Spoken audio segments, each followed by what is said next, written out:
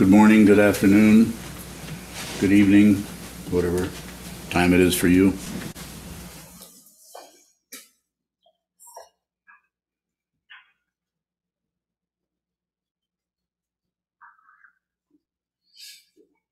Goats. Lots of goats. This morning's Dharma talk is on the topic of the three kinds of pain, according to the Buddha Dharma. And I was going to talk about something more interesting and more romantic. But since I woke up in a lot of pain, I've had pain all night because of my, I guess technically it's called a synovial cyst in my L4 vertebrae, just to include you in my end of the spectrum we call all this. This is the pain of pain. And I'm not here to one up you. You may be in pain too.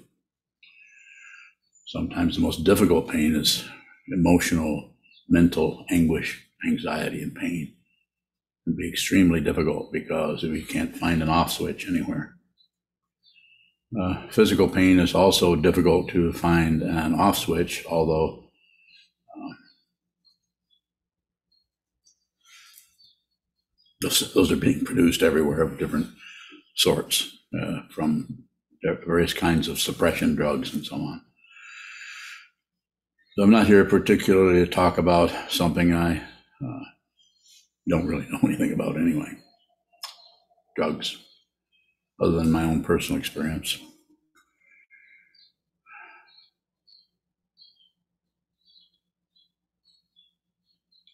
So there's the pain of pain, which is everything from a toothache to a headache to uh, mental anguish over your safety or some kind of anxiety or paranoia about what's around the corner, what's going to happen next. That type of situation can be horrible. Some people actually because of the way they're wired, the way they're, they're trained, their conditioning for the first three years, eight years, 22 years of their life, it allows them to actually receive that pain. That is appropriate. If you're hurting, you have that coming, not your ego, but this whole dynamic we call uh, body, speech, mind, this whole matrix of that appears as what? I don't know, human being maybe? If it shows up in your mind stream, if it shows up in your life stream, if it shows up in your living room, it's supposed to be there. When I say supposed to, I'm not saying there's some kind of right and wrong or supposed to be and not supposed to be. There's just dependent origination. Pratitya samutpada is the fancy word for that Sanskrit word. You have to see this. You have to see it yourself. I can talk about it. Other teachers can talk about it. The Buddha can talk about it. It doesn't mean that we're all one. We are not all one. It doesn't mean that everything is linked and hooked together in a real mysterious way that we don't see. And you need to somehow see the connections using your logic, your analysis, and so on, to see the connections between everything. This is just baloney.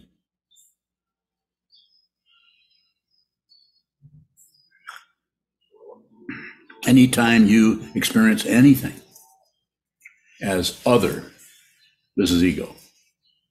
Until you see that there is no other, that everything is empty of your projection of it, you will continue to praise and blame. Praise and blame. I really like that. That's they're really that's pretty good. Even this direction, you might think this is a really great teacher, or you might think, ah, this teacher's he's a what was I called recently on a, a text or it was an email that I was a fraud. Isn't that true? Yeah. It didn't bother to point out what was behind that uh, accusation of being a fraud. You don't really need to. I am a fraud. I think that's how he used it. Is I freely admitted that I was lying or I was a fraud. All but. All but, yeah. Yes, there isn't anything that I am not. And I can say the same for you But I'm not asking you to agree with it. You might want to look for yourself. It's called a spiritual path. Turn to the wall, find out who you are. There's no doubt. Three marks, or not three marks, but the three types of pain. Pain of pain. This hurts. The pain of alternation, the coming and going of the pain. The way I'm experiencing that right now is uh, it's okay at two in the morning, but at four in the morning, I can't stand it. I can't stay in bed. I have to get up. I have to move around, move around. I'm not here to tell you what a wonderful, courageous guy I am. I'm just saying I'm old, I'm in pain. So I'm using that, saying that's the pain of pain. And the pain of alternation shows up in the pain of pain by coming and going. And the pain of alternation can also show up as something you think you've stopped or done away with, and you think you're getting somewhere, and because of causes and conditions that are relentless, to use a relative approach, about continuing to uh, cash in on their ticket to ride. And what is their ticket to ride? Dependent origination. Simply put, if it shows up, needs to be there, has to be there, should be there, because it is fundamentally uh, the illusion that is something separate is the problem of ego that buys into, well, that shouldn't be, or this should be, or when's that going to go away? If you realize your true nature, you won't care what happens. But that doesn't mean you're ignoring anything. If you were to fully realize what is being pointed at uh, in Prajnaparamita the Buddhist path, the, the path of the Mahayana, the open way, if you were to fully realize that while you're still in a human form. Yes, I did say still in a human form.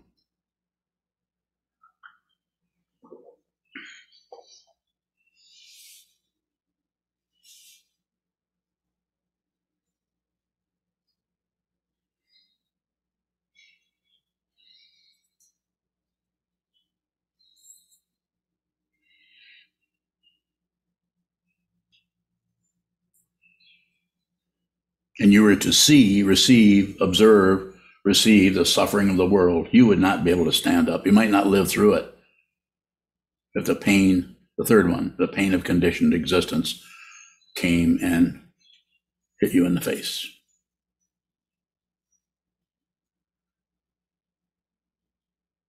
The pain of the composite, the third kind.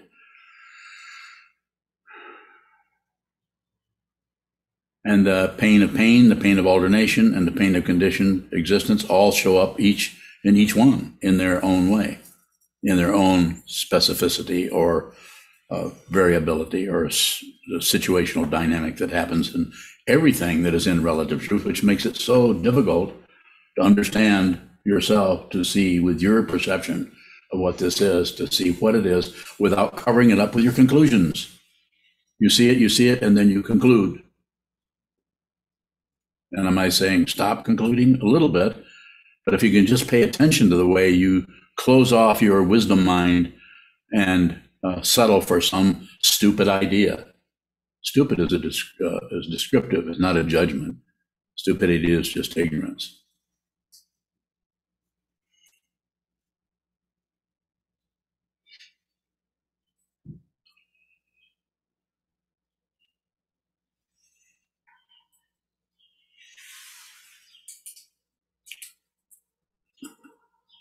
I'm not doing too well. It's probably obvious. But coming in here is choiceless for me.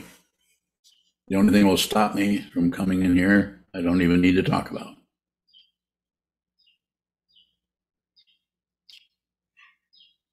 Question? Sure. Yeah. Um,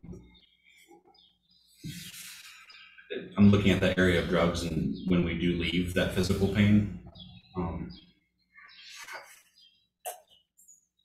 Yeah. drugs like ibuprofen and Tylenol, do those ignore the pain in a less um, harmful way than something like a, an opioid? Probably, you know, probably. More than likely. Uh, I don't know. Uh, I can't really go into the, I don't know how those things work. I just know some I can't take because of my condition, some very well-known common like ibuprofen, I can't take it. And of course, acetaminophen, everybody knows that doesn't work. You just take it because it's there and starts with an A. Just like aspirin. Valley, when is it time to leave our physical pain or cover that up? When is it time to cover it up?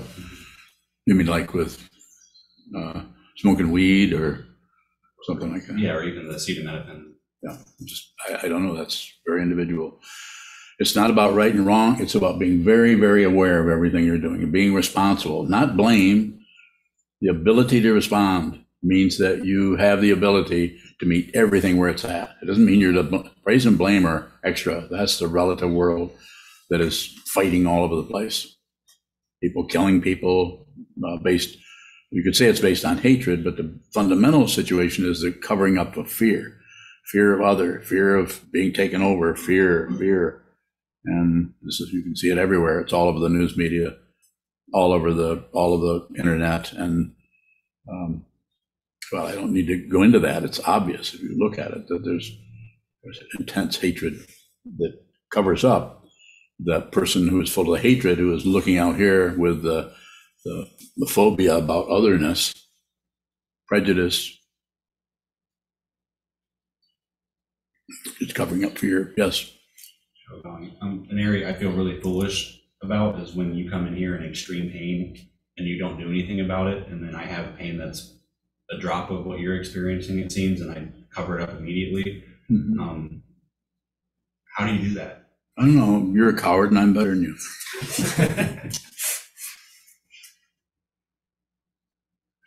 What you think I'm doing is a projection. You have no idea what I'm doing. You have no idea. And in another way, I have no idea what you're doing, but I know what you think you're doing because you're a student of mine. So of course, I'm joking when I say that, but I'm saying you you have ex- enough experience of living here and working with me as a, as being a student of this person to know that I don't set up many standards. A few, we need forums, but I don't set up many. We talk about every situation face to face. We talk about, don't we? Say, should we? How do we go about doing this? Actually, look at it for a long time before we do this. More?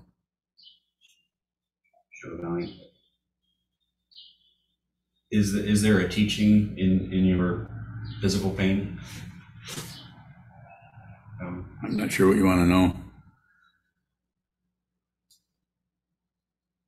So the difference is, and I don't want to get too fancy here because then we start thinking about overthinking the whole thing, looking for something else. But the pain has its own its, its own dynamic. Pain is just pain.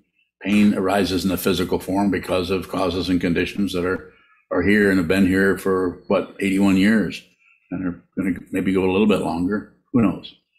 But those are just doing but the interaction there is just, it's so dependently risen that even the obvious parts of it are not really understood as they are. There, we look at something and then we come to conclusions about it. We actually abandon the very thing we look at and it come to a conclusion about it, sometimes called a pharmacy.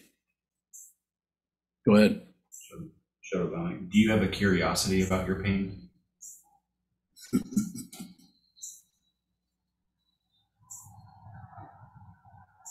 Who told you that? Certainly. I'm curious, sit down and face the wall, nothing's happening. Have a curiosity. If you're a meditator, you're practicing this particular form of meditation, of course, you're curious about everything. What is this? Who am I? What is Buddhism? Why should I even do this when I could go golfing or I could go enjoy myself, walk in the woods? I'd rather do that kind of meditation. It's pleasant and peaceful, and I can listen. Uh, so, and I would say you should do that too, but you should also sit down, radicalize. When I say radicalize, I mean minim, minim, minimize your activity so you're very still and you can see that aspect of the consciousness that, that keeps wanting something else, something else, something else. So curiosity. Yeah, we're, cur- we're curious. What is, what is the consciousness? Is uh, Vasubandhu correct in what he's saying? This is why we study Vasubandhu. Why we study the 30 verses, why we study Dogen Zenji, why we study uh, Trungpa Rinpoche's writings.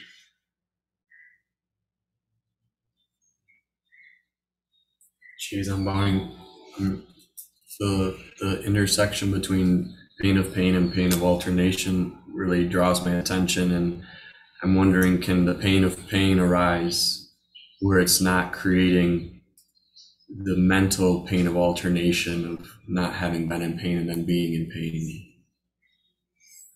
Simplify that. Is there ability? Is there physical pain without emotional pain? Yes. what is the insight? How does one see that? I guess. Just practice. Anytime anything arises, pain, in my case, pain in my wrist, or pain in my back, or pain in my foot, or um, all of those physical pains, uh, just that's just that. I'm not saying that you don't think, ah, there that comes again, or why won't that go away? There might be some of that happening, but not much. It's mostly just receive what that is, receive that receive the texture of that pain. You can practice on the physical pain, but this doesn't mean torture yourself. When you sit down in front of the wall and you're sitting symmetrical and you're observing, you're practicing the instruction of just observe what moves, shikantaza, and you feel uncomfortable, uh, your back starts to hurt, you don't, you don't turn into some kind of a macho or a militant meditator where you have to some kind of success story about staying there no matter what. No, you get up. You use your intelligence as a human being. It's situational, and you get up. Another person can sit there for several hours and not move at all. That is not a credential. It just looks like one. Someone sits, especially in our area here. I think Yoon is the only one I see sit in a full lotus, and he does it very easily. Does that make him very smart? Nah Doesn't make him smart, just make him, makes him look more like a pretzel. So I'm not saying that if you can do that, you shouldn't, you shouldn't sit that way. If it's comfortable. Uh, some, in, uh, in, in some countries, cultures where sitting on the ground and on the floor is more common or more traditional, more of that can happen, like in Japan, for instance, for sure. Easier for people to sit that way. Go ahead. Geez, I'm buying one of your teachings is not to hook up the vocal cords. When I have physical pain, what gets hooked up is the storyline. Is there a way to not hook up the storyline to the pain? You in physical pain? Right now? No, when you Yes. no, you should just moan. I mean, you don't have to wail or something. You could use the vocal cords to to have uh, so that has an expression. It doesn't mean whine and something like, but actually, actually let the body do it what it needs to do rather than convert it into some kind of language about it. So you start to cover it up. So you actually feel what that is. Feeling is totally appropriate. You have nerve endings. Feel, feel. The the point of go ahead. I'm just really curious about the expression. Um, how does the expression um, help us relate to the pain, or what does the expression do? Um, Moaning. Mhm. It's just simple. It's just like a like a raccoon would do it. You got a sore foot. You don't know about that? it's very simple rather than going to some kind of convert it into some kind of a, a scholarly commentary on what you should do, what you shouldn't do, why you shouldn't feel this way, and how am I going to get rid of this, and on and on and on. So I'm I'm not promoting that. I'm just saying that that might be a more probably is a more authentic way. Doesn't mean you're going to make a lot of racket, but just some kind of a of an expression of what that is. Very simple and direct. You're you are consciousness has uh, been uh, is showing up as a human form. And more. Geez, I'm buying. In the last few years, I've noticed that the pain working from the other direction, where um, looking more into my personal situation and research being done, that mental, emotional stress in a lot of people shows up as physical pain. So I'm wondering if there's a way we can relate to the emotional aspect of stress before it transitions into chronic physical pain. I don't know. I, I'm tracking what you're saying, but I don't know if there's some kind, oh, now that we see that happens, let's do this or do that. I think it's so situational, so individual with each person to, to how they're going to work with that. And it's so incredibly complicated. We totally concentrate on one area of do this, meditate this way, sit this way, or function this way or that way, all the different ways that they are just in meditation practice, and totally ignore what we're eating. There's a whole body mind complex that can't be here, or that the awareness can't be here without this. And I'm not saying everybody should eat the same thing, but be very clear about, be aware of what you're putting in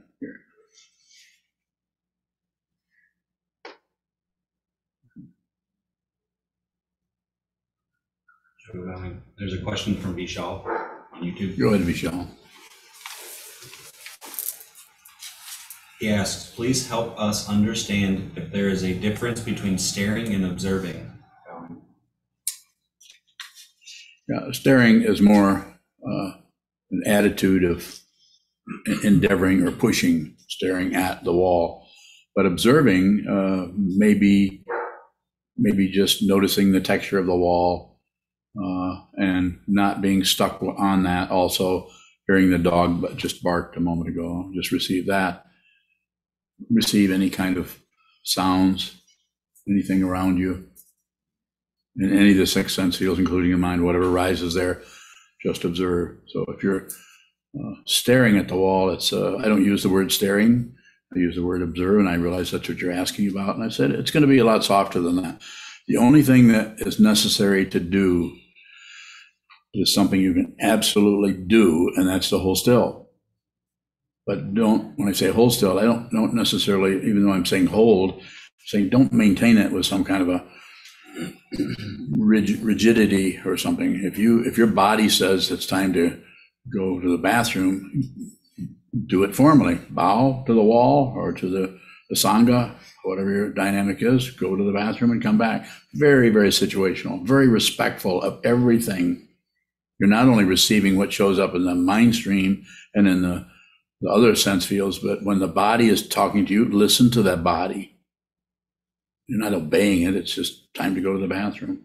Or if your knee hurts, receive that. This is a misunderstanding to sit through and don't move and don't don't take care of your body as you're sitting there. It needs to be situational, not some kind of rigid structure out of some ancient culture where men were in charge of everything and they covered up their fear through control, controlling other people, mainly young monks, or however you want to characterize it. Pay attention to this entire form. One person may be able to sit there for four hours straight without moving. Means nothing. You know, you're not going to get any credit from me. You come and tell me that just because you can do that and I can't. I can't sit still for four hours. But some people can. They can sit down and just click. Four hours later, click, click, and they get up. I don't know many of them, but that also can be an incredible cover up because they're moving from uh, the state or the, the, the, the attitude of receiving into the attitude of maintaining. That is not samadhi. That is also not one of the jhana states, in case you're jumping the gun on me here. Not that there is a gun. Jeez, I'm bowing. The first two pains seem to have a lot of interaction. Is there any way to look at the first pain, two pains, to inform the third, the pain of the composite? Bowing. Maybe a little more specific, I can respond, but How does the pain of the composite relate to the pain of alternation? the pain of the composite is uh, really can't fundamentally be seen or acknowledged or even you have any idea of what that even is until the self-centeredness has stepped back the, the ego mind is no longer may still be around but is no longer the central authority it's no longer the oligarch in the mind then one begins to actually receive the incredible suffering of the world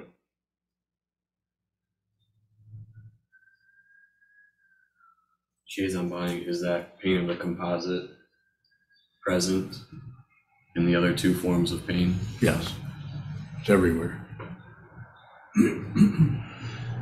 Jay's unbowing, could one have flashes of that before seeing it? I think so. Seems like it.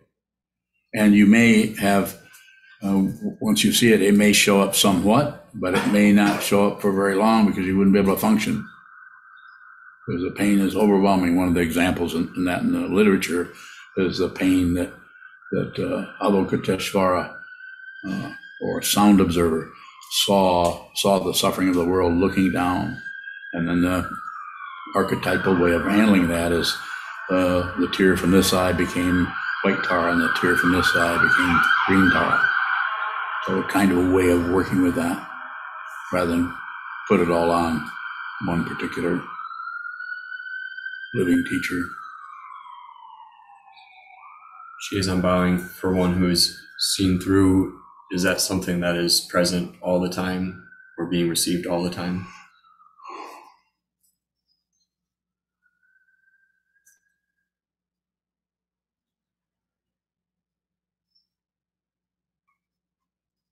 There's a receiving going on, but there's no receiver, so there's no keeping track of anything. And so, since there's no keeping track of anything, for one who has seen their true nature, there is no past and future. There's barely even a present, unless it's a birthday present. That works every year, once a year. Even the late ones are okay, guys.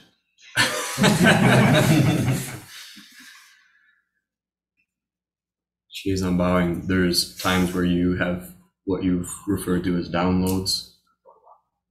Is there any relationship between that and the pain of the composite? What do you want to know? If that's a form of the pain of the composite, If what is? when that um, overwhelming emotion arises. Yes. Thank you. You guys teamed up here? Is Vishal again. Oh, it's Vishal. Okay, well, Vishal gets a pass. Go ahead, Vishal. Is there an extent to which I should be open, for example, fully or half?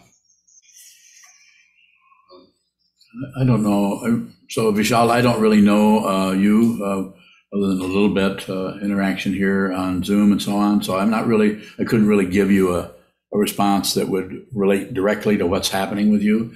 But I would say, don't do anything unless you, unless you have to. So this is a, a form of discipline that each person can actually do. If you're doing something you don't really fundamentally have to do, you might want to look look again. Excuse me. Look again at that. Um, uh, the, the, the first way, uh, maybe the second way that that's showing up is, uh, I think you're doing fine. Don't, don't look for alternatives, either or, either or. Too many boats get rowed away. You don't need that. Don't go anywhere. Whatever's showing up, that's it. It goes away, that's it. Comes back, that's it. Turns sideways, that's it. Turns upside down, that's it. That's it. That's it. That's it. As it is, as it is, as it is, as it is. Don't add, subtract, divide. Don't do any math. Unless you need to count something, and I'm not saying be some kind of horrible person that never uses numbers anymore and no longer uses language and is so removed from everything.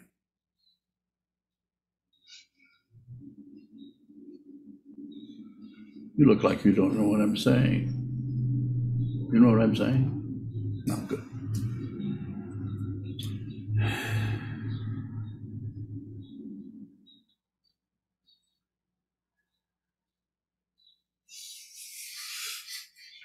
Go ahead.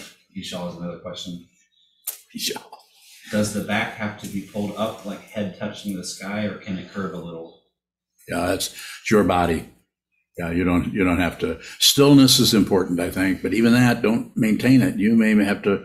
You may sit still for five minutes and then need to move a little bit. Another five minutes. Just return to the stillness. Don't maintain it, and sit as straight as you can with your particular body, and, and cross your legs. If you can do a, a full lotus, then of course, and go ahead and do that.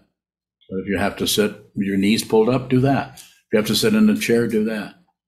If you have to have to, have to, have to, have to. It's, it's your body situation rather than try to live up to any kind of a standard, whether it's uh, any of the Zen forms, any of the Chinese forms, any of the Tibetan forms. I'm not saying those are wrong, but if you're listening to me, then must be something happening here, some kind of frequency that, that I'm speaking out of and you're receiving. Otherwise, you would go listen to Dalai Lama or make uh, Adyashanti your teacher or any number of people out there in the wide, wide world. Yes. Uh, When, when does a form that we set up become a standard? When you obey it, when you, you no longer uh, look at it and observe it as, as a form. Because that form is, is never stationary because it's not separate. But we, the ego wants safety. So it will clamp down on anything it can as a result, as an opinion, as a philosophy, as a, ju- a judgment, as a something we know. Someone who is realized, who just sees what this is, doesn't believe anything, doesn't disbelieve anything, doesn't ignore anything, and as other than a body mind complex being here, they're not even here anymore. Sometimes they're uh, because the, the the relative way of saying it, it's like they have a, foot in both worlds. They have a foot in this world, and they have a foot a foot in uh, uh, in the relatively spoken in the beyond or the hereafter, which there is no hereafter. It just looks that way. There's a question from Adriana. She asks, what is suffering? Something that really hurts bad. Suffering. So suffering is a distress because we want something else. So rather than actually understanding some kind of deep understanding of what is arising, we look at it and we conclude something about it. So somebody concludes something and wants something different. Simply put, just basic Buddha Dharma. Life is suffering, the cause is desire, the goal is cessation, and the path is basically meditation or train your mind or Shila Samadhi and Prajna or the or the the uh, eight uh, uh, what do they really call those things? You don't need all of those. That's the way it looks here. Some other teacher is going to teach right out of that totally over and over again, day after day. If you need to be there, you won't be here. I have nothing to sell. I have nothing to promise. Uh, this path looks like failure as you if it doesn't look like failure to you on some level, then it's not a true spiritual path. Is that a conclusion? Yep, it is. I didn't come to that conclusion a couple of years. Yes, When you're bowing, how can we receive the suffering of others, like what happened in Buffalo, what's going on in Ukraine? don't conclude.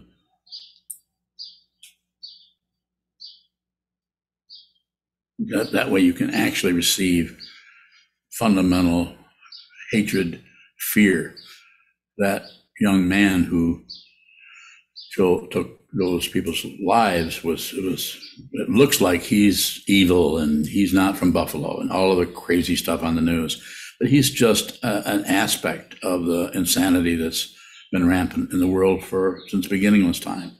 It just we know more about it because of the media, so we know more, and it's easier for that to spread uh, and infect everyone. Infects anybody who has fear or has any kind of fear that they don't know what to work with, how to work with that. They don't have a, a spiritual path. Might not even have a, a theistic spiritual path, let alone a, non- a non-theistic one, as Buddhism is. So they're they're going to look for some kind of support, and when this particular person, like all the people who go around and do something really crazy, like like killing your own kind, killing other human beings you don't even know, that's fear, fear of otherness. Xenophobia is a fancy word for that. Fear of somebody's gonna, too many white people are gonna go down because all the um, dark-skinned people or other colored people might take over. I would say might be a good idea. There's a whole lot of sanity in all the races. There's a tremendous amount of sanity, natural sanity, in people who have, who have had a, the downside of the horrible stuff that's been happening to people of color down through the centuries is just that. But the upside of it is a lot of, a lot of deep understanding about the nature of relative truth, uh, how deep the suffering goes.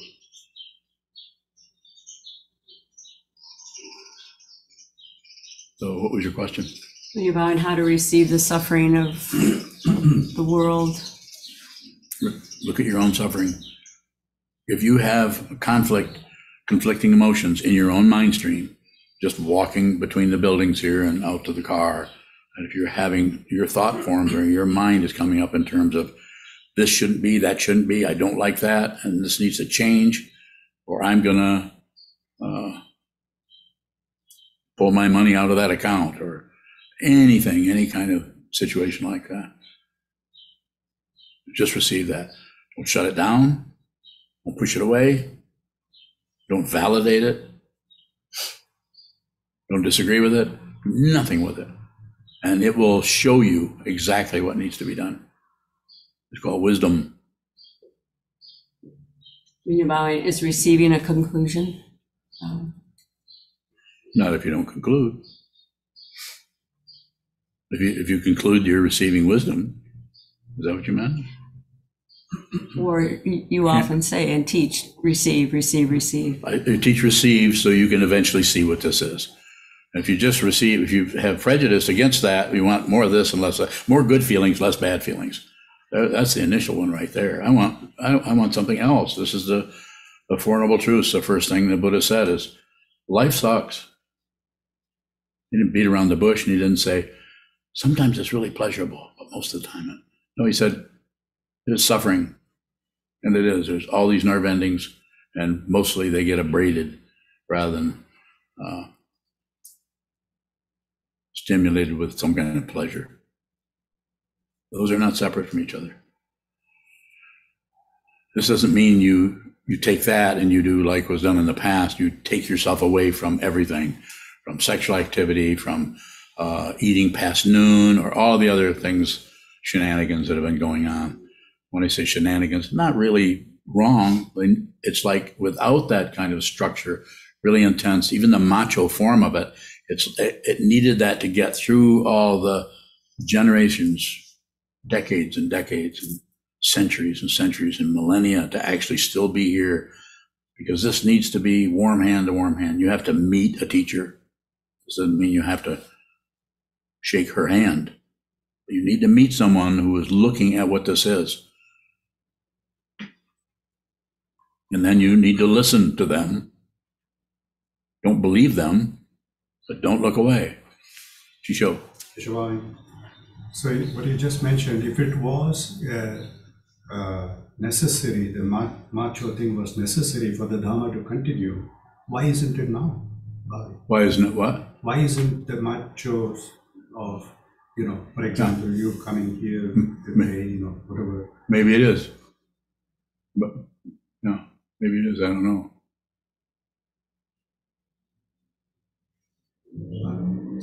So in that sense, uh, a bodhisattva who is putting others before themselves, uh, are they doing that? If uh, because of their uh, physical pain, they put themselves first and not do stuff for, uh, not, uh, for example, support somebody else who wants to follow the form, for example. Um, What do you want to know? uh, I, I would, I'm struggling with the uh, responsibility of bodhisattvas in uh, putting others before themselves while observing forms. Excellent. Wonderful. Thank you for clarifying that. You're doing it. I have no doubt. And everyone here is doing this, or you wouldn't be here. And you're doing this in your own way. There's nothing to correct, nothing to adjust. What is there here? Just return to the Buddha, the Dharma, and the Sangha. Return to the three jewels. Return to the three pure precepts. Return to those forms so that you can see uh, how you conceptually may not live up to something, but it is not about living up to something. It's about awareness and the awareness of the distance between what you posit as success and what you posit as not living up to the form, that you need to see that structure, that duality, and see that those are not separate. This has to happen. You're going to realize your true nature. It needs to happen in your mind stream. And I don't know whether where you were going with it, but me coming in here in pain and teaching is not macho. Yeah, I'm not. I'm not pushing on anything. Those days are gone. Nothing pushes on me. But I would say the way I would say it is just choiceless. I don't have a choice anymore. Yes. I understand that from a viewpoint of somebody who's seen through, but the bodhisattvas, by definition, have not seen through. They haven't. Uh, then they got to make an effort, is the way I understand it, Yes. in order to put others before themselves. They do. So, in that sense, again, back to I think Shura was going there with pain. Uh, if I have pain and I can do other stuff, why wouldn't I show up for the form? Uh, Don't. Don't show up for the form. Always about awareness. So if you don't, if someone, if I'm mis- misunderstanding you, any, several people here, Ashoka has a lot of difficulty with his, uh, his back and so on. So uh, I just emphasize communication. Just let someone know. I, I know that you're, you're here because you want this kind of training. So we don't treat you like a child and you better be here. If I'm, uh, am I getting anywhere near? Uh, so I, no, I'm putting myself in somebody else who is observing or who wants to practice the forms. Yes. And they don't find the monks, uh, for example, practicing the forms. How is it helping them at all then on this on the path?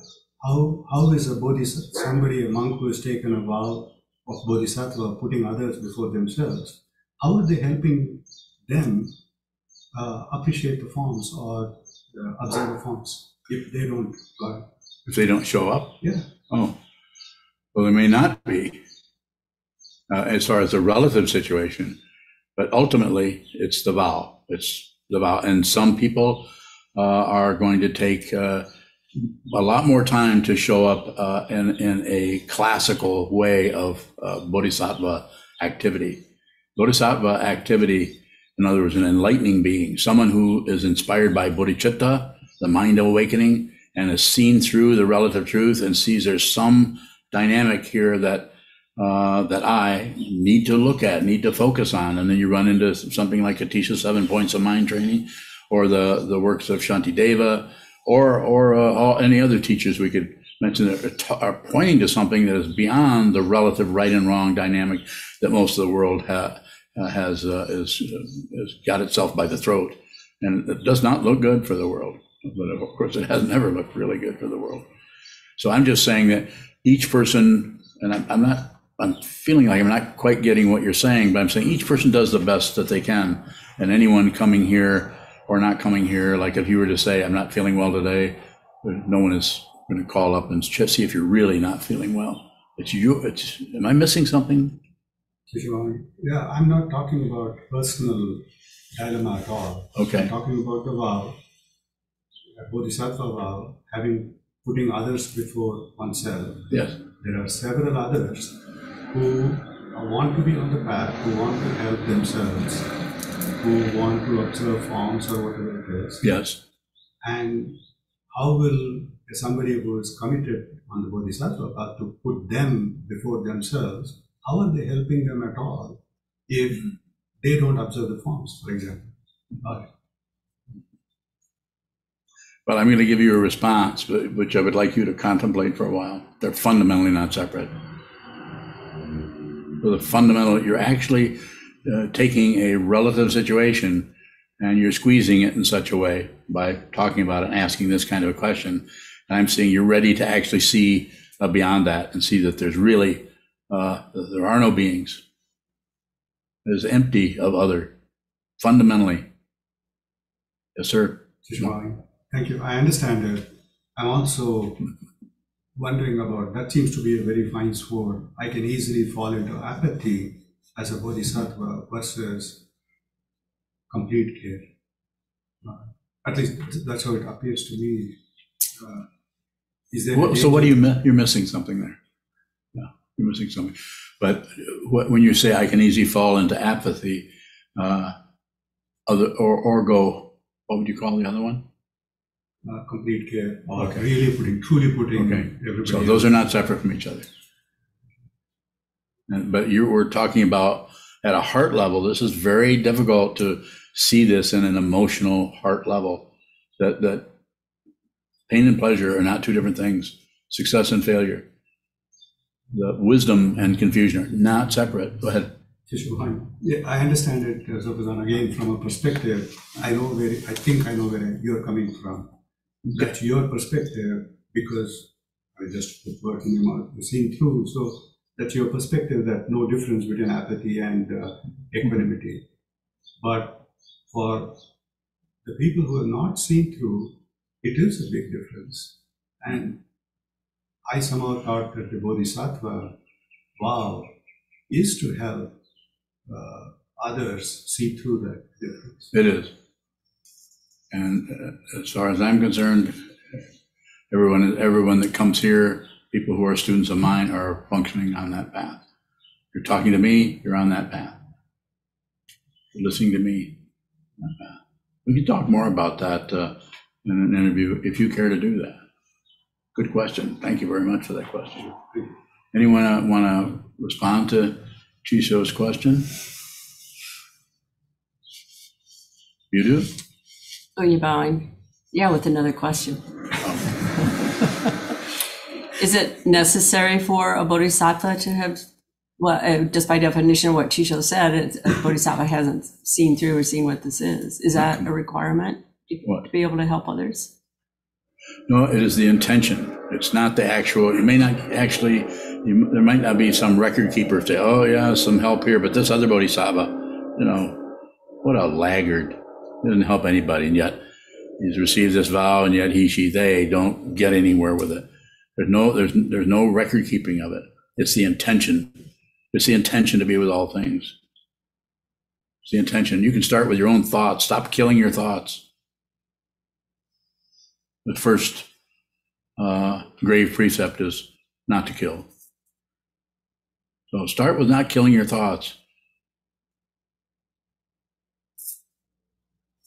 Shizambai, in that same vein, I was just wondering if there was a possibility for an example that Chisho could ask about, and I would be happy to volunteer myself um, as someone who's your Dharma heir and perhaps informs in the traditional forms less than most of your students.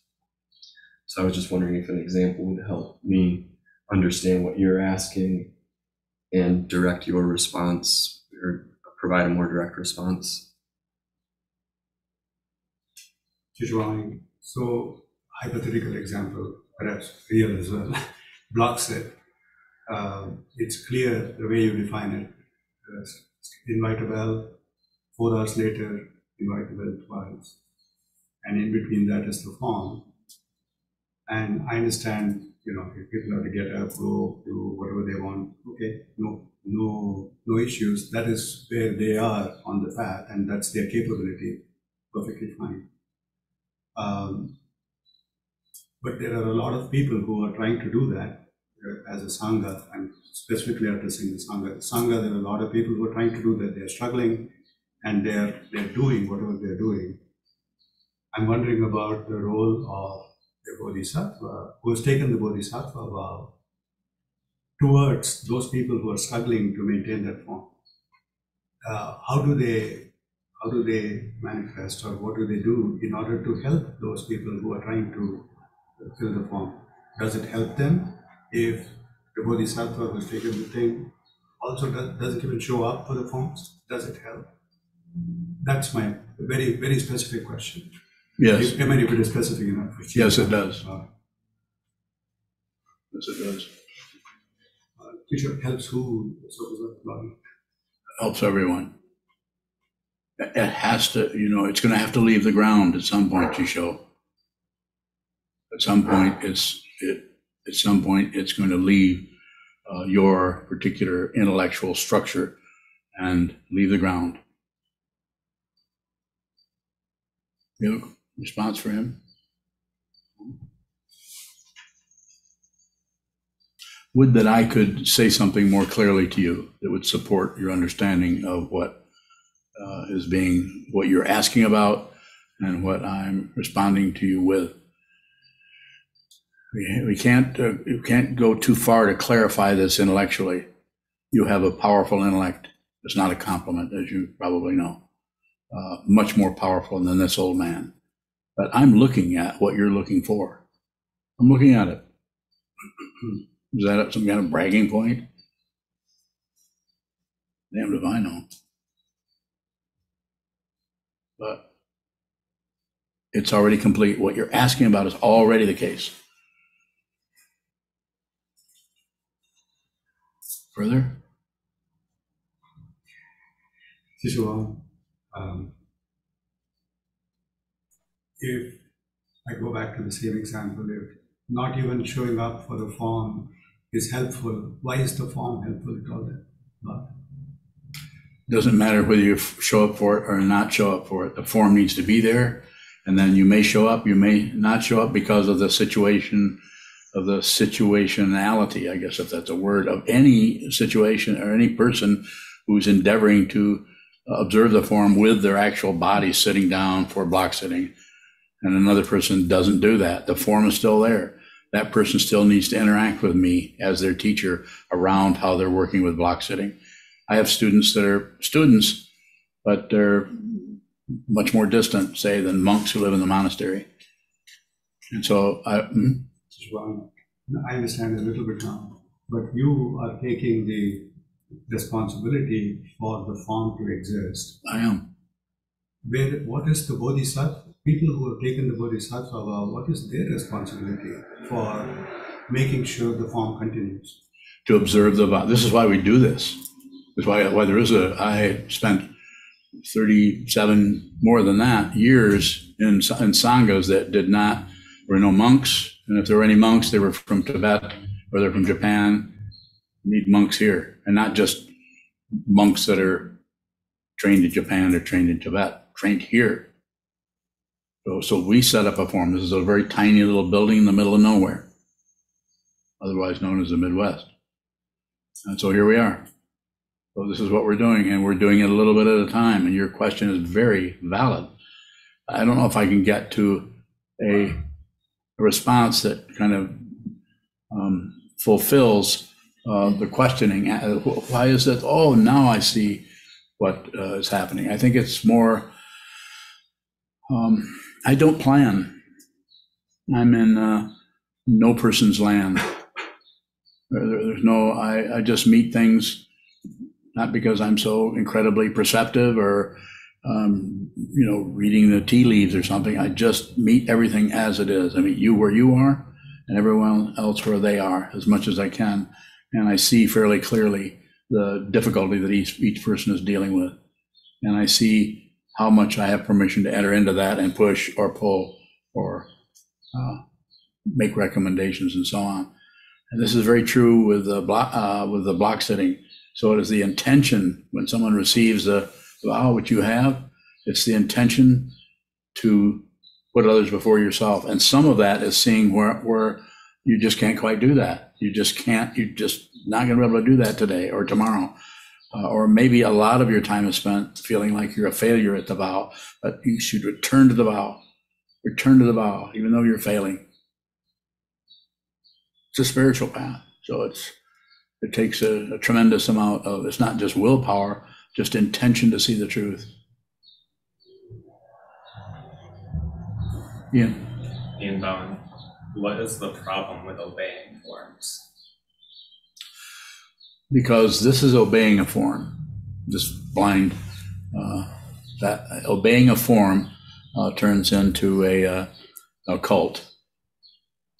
It might be a very fancy historical lineage that is that just functions very cult-like. You have to do it a certain way, or you're out of here, or you have to. You're kind of a prisoner of that form. So I'm not in favor of that. Although it can show up that way in places where we're still it is still supporting the Buddha's Dharma and not particularly destroying it. More?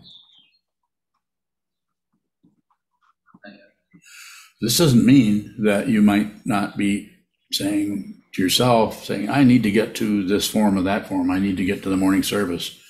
I missed that two days in a row. I need to get over there. So it doesn't mean that you're not encouraging yourself or pushing yourself, or maybe you're need to go and uh, sit and uh, do a block set in the morning and a block set in the afternoon because of the particular dynamic that's happening in your mind stream relative to your your family, your your business, your your partners, uh, your intimate partner, or something is happening there. You might need to do that more what strenuously, yes, but there's no obeying.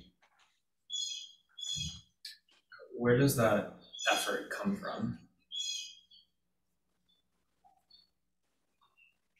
Well, the fancy word for that is bodhicitta, the mind of awakening, the, the feeling, the understanding, or the insight, or the inspiration that there might be something deeper to understand about being a living being. We just take this, people all over just take for granted that they're a person uh, with an Irish heritage or they're a person with, with anything, and they just live and function, and it's, it's untrue. It's untrue. This is untrue. This is untrue. But if I just say, this is untrue, enough said, see you later. No, you need to see it. You need, I'm looking at what the Buddha pointed at. Does that make me some kind of a special person? No, it might be the opposite. I'm nobody. And so is the Buddha. No, no separate person. That can be realized. You can actually realize that. And it's an astonishing realization, which um, makes everything uh, unless you're in a lot of pain, uh, makes it quite humorous. Sure, going. Um, I, I feel like this is a question that helps me go into what Chisho was asking about. Um, and I'm wondering if, if it's about observing the form and we don't necessarily get to it all the time, why is it important that the form that we're observing is meditation? You mean shikantaza? Right? because of all the forms, that's the one I think because it's it's very simple, it's ordinary, it has no special contrivance. It's not like creation completion practices or deity yoga, which have their value in different ways. Uh, but the simplest one is just something that human beings have been doing forever: sit down and do nothing, don't do anything. So we're doing it in a highly stylized way. We're sitting very symmetrical we're interfering with it with the casualness of it a little bit. We're uh, bringing that uh, up so that we're so the body mind complex is being addressed through our intention to sit still and watch the movement and eventually realize what this is. It will not be an event. It will not be an experience. If you're looking for the experience of awakening, uh, this is called spiritual materialism, which Trungpa Rinpoche talked about in his book published in 1972. Yes. Um, when we're endeavoring to observe the form of sitting, Mhm.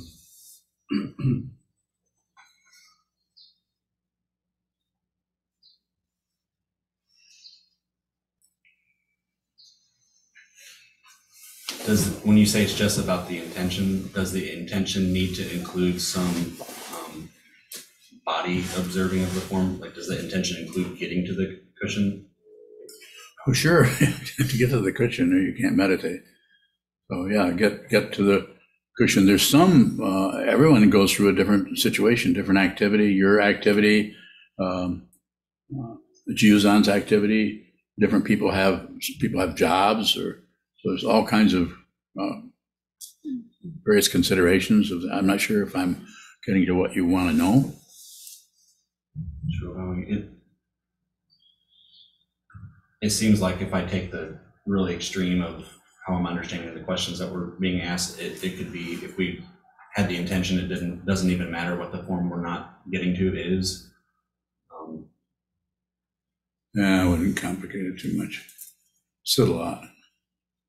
All these forms, whether whether brush and ink awareness practice, uh, all the various besides shikantaza, all the other forms that I recommend, I also don't require them particularly. A little bit, but it's like here's a way of working with the mind, which is I'm about to do this uh, open in the eye mind, which I've been doing for 20 years as a formal practice, and I think it's very helpful to break into the rigidity of the of the mind stream that can be uh, be shutting off in, in, in the visual area of consciousness. We can also do that brush and ink awareness is also a way of relating to that in a very formal way where you can see all the things that are that are asymmetrical when you do something very symmetrical.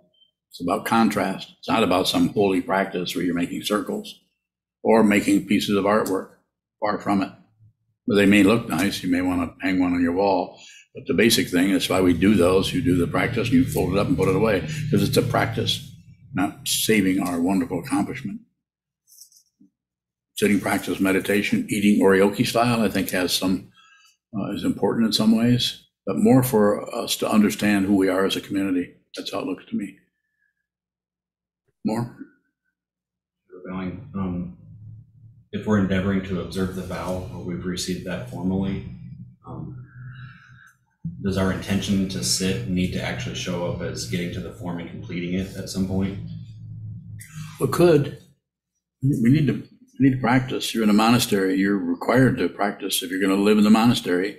And if you're going to be a fully ordained monk, at least in this, uh, this order, the order of immediate light, which we've created together, he was basically saying to me, you want to do this? I don't know how much time I have left, but I have probably have some. I want to help you do this so that when I'm gone, there can actually be a structure here where people can come and not be fed a bunch of bullshit. And yes, I mean that word. Invented words about what you should do and what you, a bunch of, bunch of uh, controlling kind of thing. It needs to be, it needs to be controlled, but we need to do this mutually. We need to do this as Sangha. It's always ignored. It's like just the followers. No, the Sangha is, is the whole matrix. The Sangha is the Buddha. The Buddha is a Sangha. The Buddha is a Sangha member. The teacher, if they're a true teacher, is a member of the Sangha. They're not just a overseer. That person who so-called is the the leader or the the roshi or the the bhante or the guruji or the hojo sama that person is is looking at what this is and the authority that arises uh, arises just spontaneously it isn't like oh this is wrong i've got to stop that or i need to have more of this or less of that it's always done by looking by awareness, and that which needs to be done just shows up. It's like obvious. I sometimes call it choiceless. Have you noticed that happening? So here's someone who whose 10th anniversary here as one of my slaves. When does that occur? Friday. You can see how what's being controlled, what's being decided. It's like a ship that's sailing and we're not sure how it even sails, but it's very, very responsive to the weather those, the, the sails of this particular monastery unfurl in, in, in response to the conditions, not looking for energy. The energy is already here. It's not separate from it. I don't mean to get romantic about it. Yes. Sure. How can we get inspiration from a lineage that was really rigid, but not try to emu- emulate that? Exactly that that rigidity needed to be there. How do we know? Because it was there. So I could go into speculation, so could you. But it look, looks like if there wasn't some really strong, definite stuff from either Pure Land or or uh, Rinzai Zen, Soto Zen, was Obaku, uh, uh, um, all the, the Tibetan lineages, and even the Kagyu lineages has the the four great and the eight lesser schools that are just uh, the fundamental structure of what uh, the underlayment of that uh, incredible lineage called the Karma Kagyu. So there, all this breakdown because there's lots of different people with different ideas that are looking at the Buddha's Dharma and are. I think we should practice this way, like we heard from uh, about Machig Labdrön from uh, about how how she all that she went through and how she, because of her her understanding, her bodhicitta, her mind awakening that maybe hadn't been totally awakened yet, but she had some kind of understanding about how she needed to do this. So she wandered around in rags for a while. Ooh, there's no way, there's no right way to do this. There's, there's no correct. But if one sees what this is and begins to see, then it's choiceless. You will you will do you will do what arises next. And that may be come in and block set, and it may be go and uh, uh, and make things uh, in the workshop out of hopefully better wood than cedar. It's, it's really can be done. Everyone here, you're, you as, as Kobun said long ago, uh, get your own authority. Get your own, you may need a teacher, you may need a, need a, a teaching person to relate to until you can see the fundamental nature of authority. No one's in charge of this. There is no authority anywhere. There never was a singularity. Find out. Don't don't rest until you see it. Way after I'm gone, you're still around. Don't give up. Don't stop. Buddha, Dharma, Sangha. You need, I think, you might be able to do this. Uh, U.G. Krish- Krishnamurti did it on his own. Um, Ramana Maharshi actually uh, left the society and went into a cave for 20 years. That doesn't mean you have, doesn't mean you have to do that. Go ahead, please. Gyokuro. Yokoro bowing. There's a message from Eric Antaya in the uh, chat box. He says, Eric Bowing, is it selfish to focus our efforts on realizing our own enlightenment rather than trying to save others directly? Bowing. No. So my way of responding to that, and, and there's some variability here. So you might want to work on yourself so you don't take your own unexamined aggression out into the world and spill that over on others and have outflows that you think are their aggression when it's actually your spontaneous mirroring of their aggression. In other words, you, see aggression come. Have you ever noticed somebody's aggressive, aggressive with you in some way? You know, it, it doesn't it doesn't spark compassion. Oh, poor person, you're so full of aggression and hatred with it. Put down your AK-47. No, it's too late. The causes and conditions are like an avalanche that have started century, one time, centuries ago. What happened in that grocery store happened centuries ago. This is just the culmination or the the fundamental display of dependent origination. There's no personhood there. There's no one to blame. There's no evil there. It's a credible misunderstanding to go to war with evil. If anything, you should make friends with demons. This is what Milarepa did in his cave. Have some tea. Poof, they all disappeared because they get their nutrition from conflict and from otherness and from being opposed or being disagreed with. There's a few questions on YouTube. Let me take uh, Fuson's first. Using how is the mirroring that the teacher does different from the mirroring that happens when like we reflect somebody's aggression? Yeah, because there's no, there is no mirror. There's any, there's no otherness to it. So There's no, there's no agenda over here about the agenda over there. So it's just you show up. Uh, the mirror might look like the person, the teacher might look like someone to you, but you're looking at yourself when you're looking at the teacher. Might take you a while to see it. Using like, how is the receiving that the teacher does a mirror? I don't know. What do you think? First thought, what do you think? I can only look at what's showing up for me as opposed to having something to blame on you or. That'll probably work. Go ahead. Anything else? Sure. Um, this question is, um, after Adriana's last question from Adriana. She, she asked, does pain equal suffering? Yeah, three types of pain are pain of pain. Ouch. This, uh, amazingly, my back pain is, uh, no pun intended, backed off. While I've been sitting here, it was pretty strong when I sat down. Um, so I don't know why, but it's not as strong as it was. Probably this real comfy thing I'm sitting at. So pain of pain, obvious physical pain. Uh, pain of alternation means that you're in suffering. You're suffering even though the really bad thing is supposed to happen in three days and isn't here yet. Instead of just saying, "Well, I'm fine right now," and that's next Thursday. So instead, no, we start to freak out and worry about what's going to happen next. A pain of alternation. Something else is coming.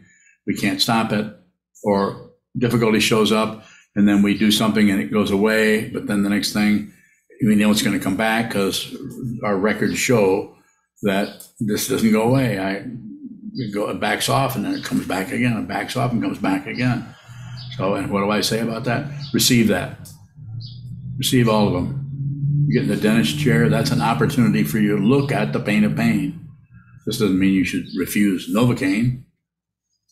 I don't have to go to extremes about it, but you can just use that uh, um, as to see how, how that, what is the texture of that? Like you were asking earlier, the curiosity. Had a curiosity, but what, what is, what is that nerve ending? How much of that has to do with the, the uh, production of thoughts about it instead of just receive uh, ouch or hurt or pain or that's why I say moan. It doesn't mean scream, but but go into some so you have a so your whole body is doing that, just like a child does. Children cry, and they need to. We might need to cry a little bit, maybe quite a bit. Painful. Adriana also asks, how can, how can we work with the feeling of failure? The feeling of failure is uh, from the point, look who you're talking to or reflect on this. It is the path. It's, it's because it, the feeling, feeling of success is a relative uh, product of doing everything just right and getting better and improving. And that's not, I'm not trying to do away with that, but if you have the feeling of failure, then you can uh, see that as uh, as an, an, an opportunity to look at all of your stories around that and see what the intention is there. Uh, see deeply see what that is with the sitting practice of meditation. You'll be able to see more deeply in that uh, into that. It's the same as a feeling of success. Not separate. See it. You need to see it. Um, Cameron Youngs asks, when I'm in pain, I notice that I look to sustain my frustrated emotions by finding a way, finding ways to blame others. How do I work with my pain on the path when it causes me to lash out? So this is just everyone's doing this in some way. Some people might not use their vocal cords, uh, and and others might. But it's just, it's just an awareness practice. I don't know how long you've been sitting, but just don't give up. Return to the cushion, return to the Buddha, the Dharma, the Sangha, or your understanding of that. Doesn't have to be formally. I think it works better to do that. And I have a little battery.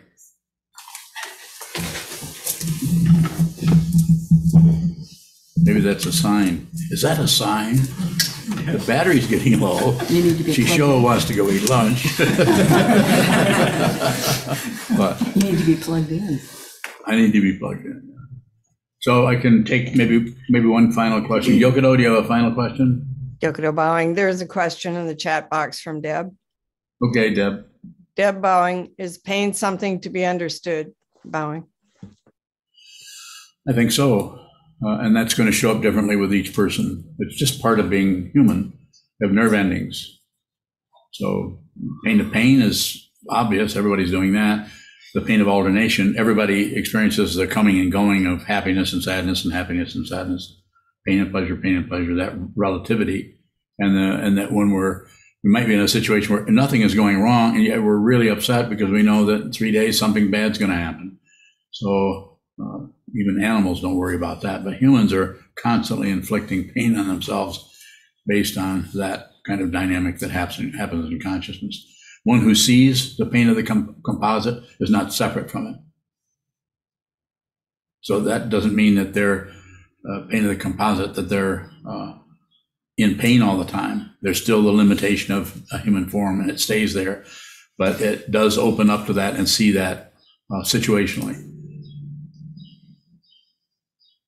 Uh, one, if you really see, as I've said before, and I'll say it again, if you as an individual being see the suffering of the world, see the, the pain of the composite, um, then you may not be able to stand up.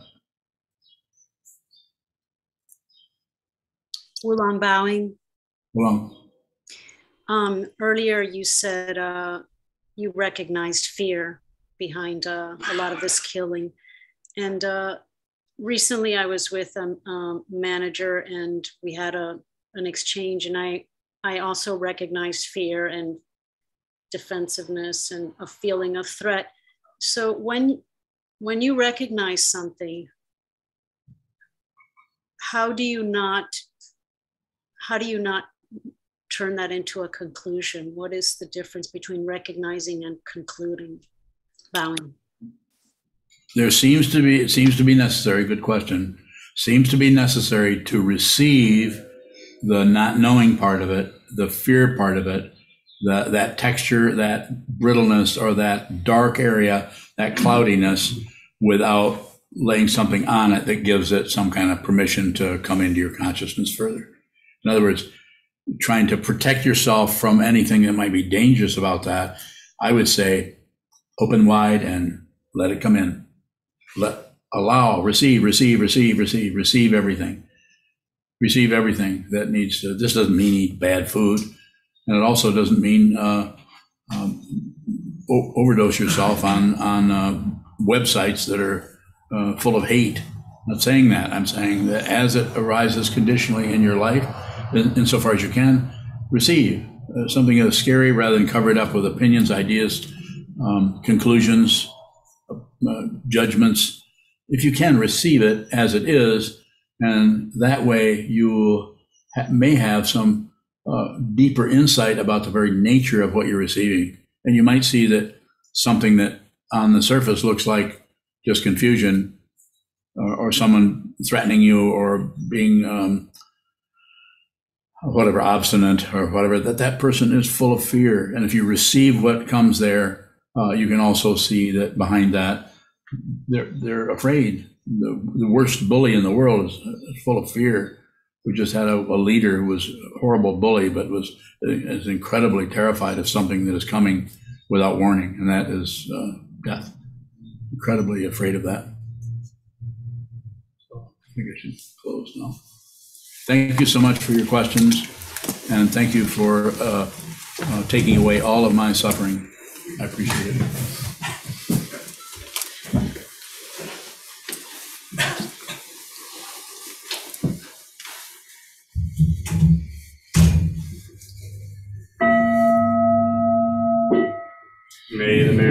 Penetrate into all places, so that we and every sentient being together can realize the Buddha's way.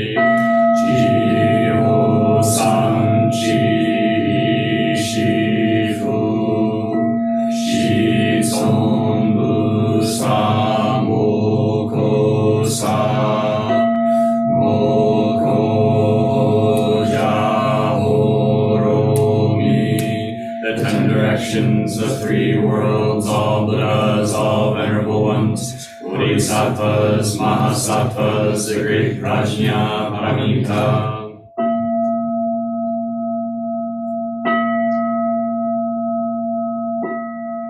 Buddhas and Bodhisattvas of the ten directions and the three times, please hear us. Please come down out of the light and protect Sokukoji Buddhist Temple Monastery, our Sangha, families, friends, and visitors. Heal everyone who is unhappy, sick, or suffering, and fill them with life.